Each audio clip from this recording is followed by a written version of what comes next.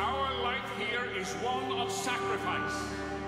We protect Gondor here, in this barren land, ensuring the safety of all those we love, and the land that is...